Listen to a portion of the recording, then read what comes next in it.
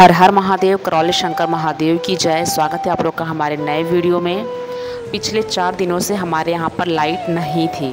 बड़ी मुश्किल से ये भाई साहब यहाँ पर आए हैं। यहाँ के जो वायरमैन हैं, जो लाइट बनाते हैं इलेक्ट्रिशियन, उनको पिछले चार दिन से हमने बहुत फ़ोन किया, लेकिन वो लोग आए नहीं। फिर ये कोई दूसरे इलेक्ट्रिशियन हैं, इनको बुलाया तो ये आज आए और आने के बाद देखो हमारा चार दिन बाद लाइट बन गया है। जैसे ही लाइट बना इतनी खुशी हुई देख के कि मैं बता नहीं अच्छा, सकती। किधर फिर कुछ भक्त भी बाबा के टहलते टहलते रेस्टोरेंट तक आए थे। आराम से टहलो। लेकिन अभी लाइट ही नहीं थी तो हम क्या इनको देते? अच्छा कुछ हमने इनको दिया नहीं तो ये टहलते टहलते और आगे तक चले गए। हमारी लाइट बन गई है। इस बात की हमें बहुत ज़्यादा खुशी है क्योंकि पिछले चार दिनों से कोई काम नहीं हमने किया। हमारा सारा जो बर्तन है ऐसे ही जूठा ही पड़ा था। फिर बहुत सारी घर भी गंदा हो रखा था। फिर ये सब चीज़ें लाइट आने के बाद हमने टाकी भरा। उसके बाद सारा हमने साफ़ सफ़ाई में हमने पूरा ध्यान दिया। फिर भाई बहन भी आए थे हम तीनों एक साथ में थे। मौका अच्छा था मेरे पास तो हम तीनों लग के मेहनत करके पूरा घर साफ़ किया। जित जितना भी सामान था अस्त व्यस्त सबको व्यवस्थित किया। जितने भी कचरा डस्ट सब इकट्ठा हुआ था सब मैंने हटाया। जब भी लोग आते हैं ना तो मेरे पास एक मौका रहता है कि हम लोग मिल के कर लेते हैं। साफ़ सफ़ाई तो आ, मेरे परिवार में से हर तीन महीने पे दो महीने पे, चार महीने पे बाबा के पास दर्शन के लिए अर्जी लगाने घर वाले आते रहते हैं। तो उस बीच में ना हम लोग मिल के साफ़ सफ़ाई भी कर लिया करते हैं। ये देख सकते हैं, अभी भाई बहन आए हैं। तो मेरा तो उतना मन नहीं था, लेकिन ये बोल दीदी, आज पूरा हम लोग साफ़ सफ़ाई कर देते हैं।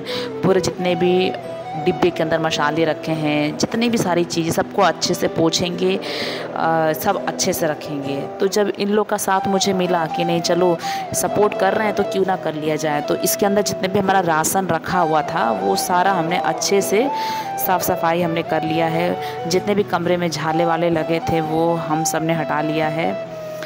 भाई बहन मेरे बहुत मेहनती हैं। इन लोग मेहनत करते हैं। जैसे मतलब हम छो भाई बहन बहुत मेहनती हैं। मेहनत करते हैं, अपना अच्छे से रहना चाहते हैं, ईमानदारी से रहना चाहते हैं। जब भी मौका मिलता है, मेहनत करने में कोई कतराता है नहीं। तो आते ही लग जाते हैं मेरे संग। बाबा के गुरु पूर्णिमा पे आए थे। गुरु पूर्णिमा पे आने के बाद उस समय भी हम इडली बना के बेचे तो उसमें भी काफ़ी सपोर्ट किया भाई बहनों ने। फिर उसके बाद चार दिन तो लाइट होने, न होने की वजह से हमने कोई काम ही नहीं कर पाए।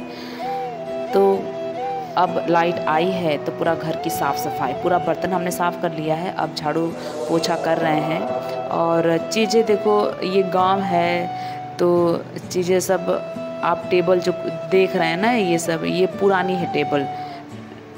लकड़ी की टेबल जो देख रहे हैं, ये बहुत पुराना है और जैसा भी ये पुराना, सब चीज़ पुराने हैं, लेकिन अगर उससे हम अच्छे से मेंटेन करें, अच्छे से रखते हैं ना तो चीज़ें अच्छे से चलती है। अब पूरा उसको पोछेंगे, अच्छे से रखेंगे, झाड़ू पोछा करके इसको रख देंगे। आज तो हम हमारा पूरा दिन जो है साफ़ सफ़ाई में ही जाने वाला है। अभी सुबह से हम लग चुके हैं। बाबा माता की आरती के बाद आ गए थे, आठ बजे आ गए थे। फिर उसके बाद यहाँ से हम गए हैं लगभग वही तीन चार बजे के आसपास। फिर दरबार में गए, वहाँ पे हमने भोजन लिया, फिर भोजन किए, फिर वापस हम आ गए। तो ये तो नीचे की साफ़ सफ़ाई दोनों रूम हमने अच्छे से साफ़ कर लिया है। पानी गिरा गिरा के अच्छे से, फिर उसके बाद ऊपर भी दो रूम है जो हम लोग रेंट पे देते हैं। अगर आप दरबार में कभी आते हैं, रेंट पे रूम चाहिए तो हमारे पास ना रेंट का रूम भी मिलता है, जो ऊपर मिलता ऊपर है दो रूम। तो उसको भी हमने अच्छे साफ़ सफ़ाई कर लिया। देखो, ये छोटी वाली बहन का कमर दुख रहा है तो ये कैसे अपना कमर सीधा करी काम करते करते थकान हो जाती है और मैं अपना कैमरा जो है एक साइड में रख देती हूँ। तो सब चीज़ें रिकॉर्ड होती रहती है। अपना एक जो स्मृति है, अच्छी स्मृति परिवार के संग जो हम समय बिताए हैं, वो कैमरे में कैद होते रहता है और हम आगे चल के देखते हैं तो बड़ी अच्छा लगता है। क्योंकि देखो, दिन है, एक समय हमारा बीत रहा है। हम सब छोटे थे, बड़े हुए, आगे चल शादी ब्याह, सब बच्चे होंगे, बूढ़े होंगे होंगे तो ये जो अच्छी अच्छी स्मृति है जो बाबा के संग हम जुड़ने के बाद हमने जो पाया है बहुत अच्छी स्मृति है। बाबा कहते हैं ना पुरुषार्थ करो कर्म करो आगे फल की चिंता मत करो ईश्वर तो आपको देता ही है। तो बाबा के बताए मार्ग पे हम चलते हैं अपना मेहनत कर रहे हैं। आ, हमें बाबा की वजह से कर्म भोग समझ में आ गया है। तो एक अच्छा इंसान बनना मेहनत करना जीवन में आगे बढ़ना है। सारे परिवार जो है ना, बाबा माता ने इस तरह पकड़ के रखा है कि आपको क्या बताएँ? सब बाबा माता के प्रति बहुत समर्पित हैं, बहुत भाव से जुड़े हुए हैं और ऐसी कृपा गुरुदेव की बनी रहे कि लोग ऐसे दरबार से जुड़े रहें और स्वस्थ रहें, खुद भी स्वस्थ रहें और तंत्र में आगे बढ़ के लोगों को भी एक राह दिखाएँ, दरबार का नाम करें, दरबार से लोगों को जोड़ें, सभी लोग स्वस्थ हों यही बाबा कृपा करे, यही इच्छा सबके अंदर बनी रहे। तो आज पूरा दिन हमारा साफ़ सफ़ाई में जाएगा। कल से हमारा इडली फिर से मिलना शुरू हो जाएगा।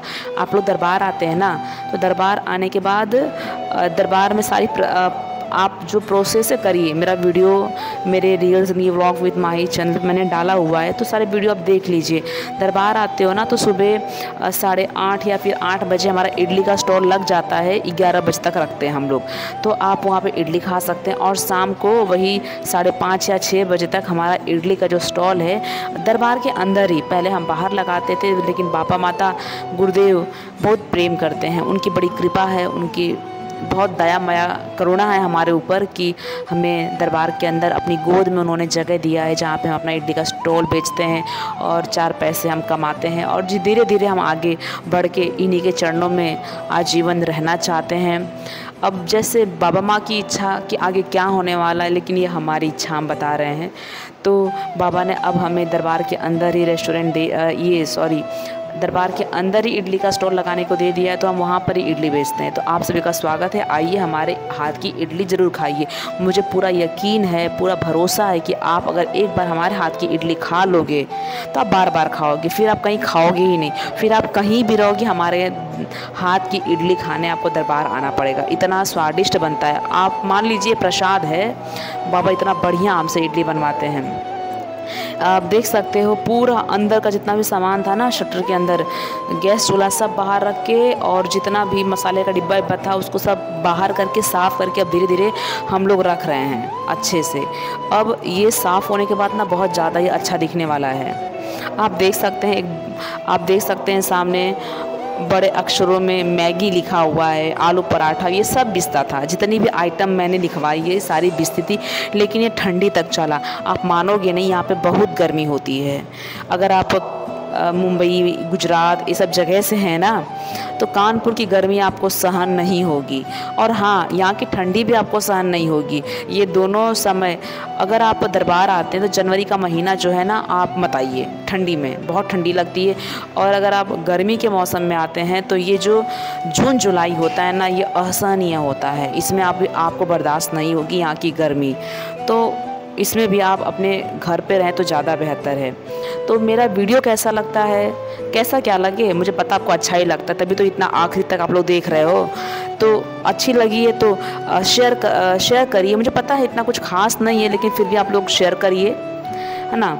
लाइक भी करिए और बहुत बहुत कमेंट भी करिए, बहुत प्यार दीजिए आप लोग, क्योंकि मैं ना वीडियो बनाना चाहती हूँ, लेकिन मैं बना नहीं पाती, लेकिन मैं लाइफ टाइम वीडियो बनाना चाहती हूँ। मैं अपना करियर ही यूट्यूब पे देख पाती हूँ, क्योंकि मैंने यूट्यूब पे काम किया है, मुझे यहाँ से पैसे भी मिले हैं तो मुझे ऐसा लगता है क्यों ना यूट्यूब पे कंटिन्यू रहूँ? और कंटिन्यू रहने के लिए पता है इसमें पूरा का पूरा दिन जाता है, लेकिन मेरे पास इतना समय नहीं है कि मैं इसमें समय दूँ। अब उतनी अच्छी अर्निंग भी अभी नहीं है यूट्यूब से, इसलिए मुझे ये सब काम इडली का स्टोर लगाना पड़ा अगर मेरा महीने का पचास, साठ हज़ार रुपये भी यूट्यूब से आता ना तो मैं ये सब नहीं करती।